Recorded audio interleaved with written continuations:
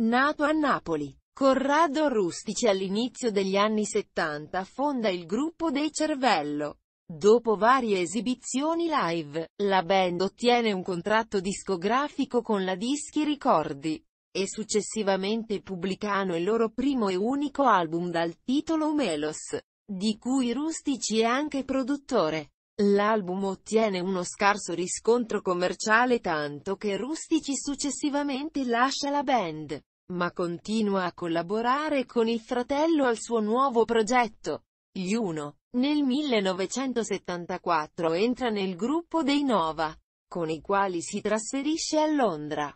Ottengono un contratto con Arista Records e negli anni successivi pubblicano quattro album.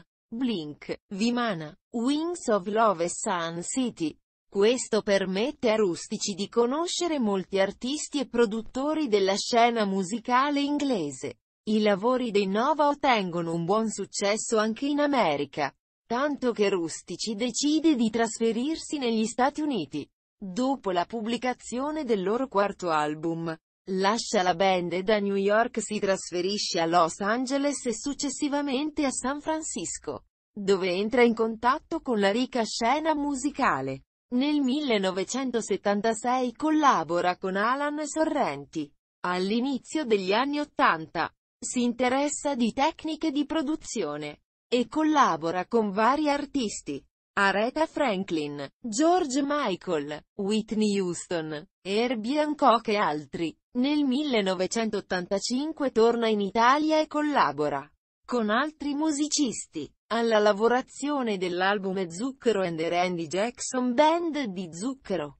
Questo segnerà un lungo sodalizio con il cantautore emiliano. Collabora anche con Loredana Bertè e Renato Zero. Tornato negli Stati Uniti, partecipa all'album di debutto di Whitney Houston, all'album Who's Zooming Who di Arita Franklin e a W Ile The City Slips di George. Benson cura gli arrangiamenti del brano Rispetto di Zucchero. Nel 1987 partecipa al secondo album di Whitney Houston e a No Protection The Jefferson Starship sotto la produzione esecutiva e la supervisione di Michele Torpedine produce e arrangia blues e oro, incenso e birra di zucchero.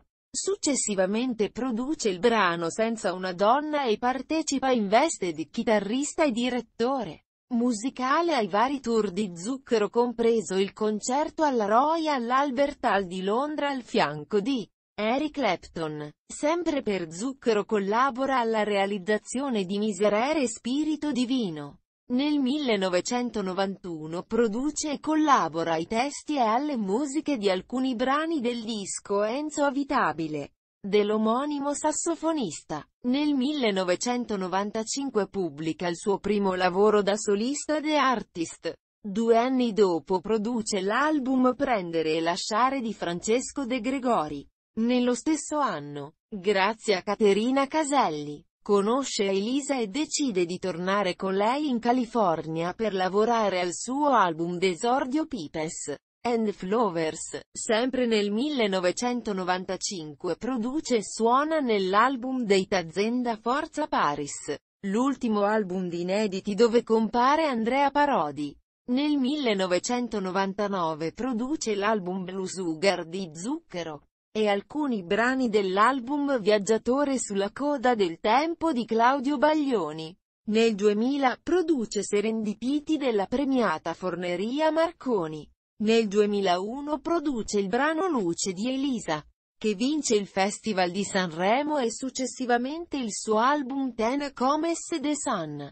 Nel 2003 firma un contratto come produttore e consulente per la Sugar Music di Caterina Caselli grazie al quale produce quattro brani dei Negramaro e tre per Andrea Bocelli.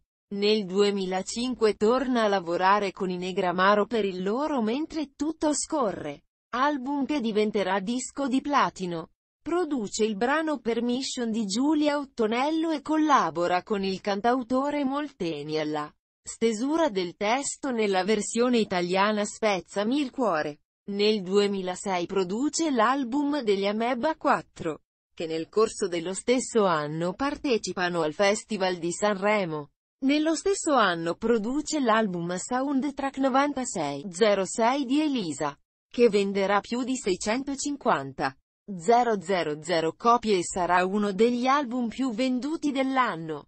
Nel 2006 pubblica The Construction of a Postmodern Musician, dove scrive, produce e suona 11 tracce con l'intervento di alcuni artisti con cui aveva collaborato come Elisa nel brano Rage and Dust, Giuliano San Giorgi dei Negramaro nel brano Maledette Stelle, Alan Holdsworth nel brano Tantrum to Blind, Paul McCandless dei Oregon nei brani 100 Famous Notes e Spirals of Light e Fabio Properzi degli Ameba 4 nel brano Chiudi gli occhi. Nel 2007 produce l'album La finestra dei Negramaro che diventa disco di platino. Nel 2007 produce l'album Caterpillar di Elisa versione internazionale dell'album Soundtrack. 9606. Nel 2007 produce l'album Ferro e Cartone di Francesco Renga. Terminata la sua collaborazione esclusiva con la Sugar. Nel 2007 produce due brani inediti Niente paura e Buonanotte all'Italia dell'album Primo Tempo di Luciano Ligabue. Il 12 novembre 2007, con Niente paura. L'immenso dei Negramaro e Ferro e Cartone di Francesco Renga. Diventa il primo produttore, arrangiatore a conquistare contemporaneamente i primi tre posti della classifica Nielsen, con tre artisti diversi. Nel febbraio 2008 produce il brano Il centro del mondo dell'album Secondo tempo di Luciano Ligabue. Nel settembre 2008 riceve il premio di produttore dell'anno dalla rivista In Sound. Nel febbraio 2010 produce l'album di esordio di Romeus. Nel 2010 produce l'album Arrivederci. Mostro. Di Luciano Ligabue. Il singolo Un colpo all'anima e l'album entrano al primo posto delle classifiche Nielsen e vi rimangono per 13 settimane consecutive. Arrivederci, mostro. È l'album più venduto del 2010 e diventa disco di diamante. Nel gennaio del 2011 il brano Luce di Elisa, prodotta e arrangiata da Corrado, viene votata come miglior canzone del decennio in Italia. Il 16 febbraio 2011 produce Il mare immenso, certificato disco d'oro, ed EIAV dell'album Il mio universo di Giusy Ferreri. Il 22 marzo 2011 produce l'intero l'album di Noemi, fatta eccezione per il singolo Vuoto a perdere. Rosso Noemi, riedito poi nel 2012 come Rosso Noemi 2012 Edition. Certificato disco d'oro con oltre 55.000 copie vendute. Certificato disco di platino. Sempre per Noemi produce i singoli Odio tutti i cantanti e poi inventi il modo. Nel 2012 Noemi partecipa al Festival di Sanremo 2012 con Sono solo parole classificandosi terza. Il singolo, prodotto da Rustici, viene certificato disco di platino. Corrado Rustici produce anche il singolo successivo in un giorno qualunque. Nell'aprile 2013 produce l'album Come in cielo così in guerra di Cristiano De André. Il 3 settembre 2014 pubblica il CD DVD Blaz and Bloom Live in Japan, come Corrado Rustici Trio, con Steve Smith, batterista, e Peter John Vettesi alle tastiere. Nel novembre 2015 produce Hercules di Virginio. Nel giugno 2016 pubblica l'album da solista Am, in seguito al quale parte un tour italiano, con ospiti del calibro di Elisa e Zucchero. Sue vecchie conoscenze